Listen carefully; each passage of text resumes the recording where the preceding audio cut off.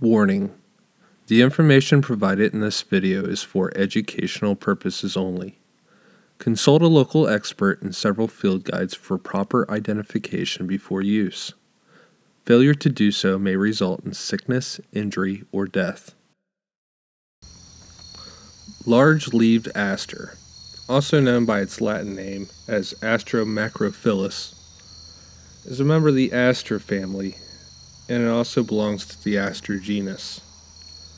This plant is a perennial, meaning its lifespan is longer than two years, and it grows in a habitat of dry woods.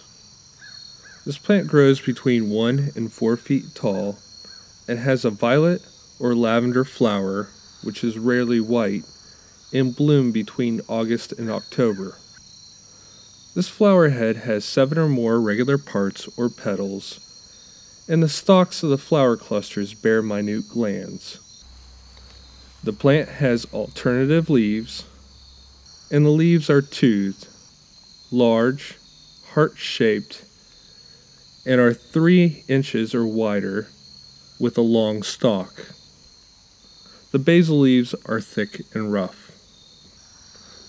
Large leaf aster has been used in the past for both its edible and medicinal purposes. As for its edibility, the young leaves can be cooked and used as vegetables. Leaves become tougher as they age, so choose the younger leaves closer to the top of the plant. The roots can be cooked and used in soups.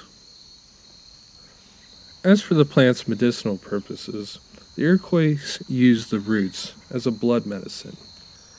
They also created a compound decoction for the use as a laxative or venereal aid by combining bloodroot, hook crowfoot, black snake root, and sweet cicelies. They would put four roots of each plant in five quarts of water, boil the water down to one quart, and then they would drink half a quart at bedtime, then half a quart the next morning. They advise not to use meat or salt for four days and warn that it will loosen the bowels, and once is enough. The Ojibwe used the plant as an analgesic. An infusion of the root was used to bathe the head for headaches, and as an unspecified use, the young leaves were used as both food and medicine.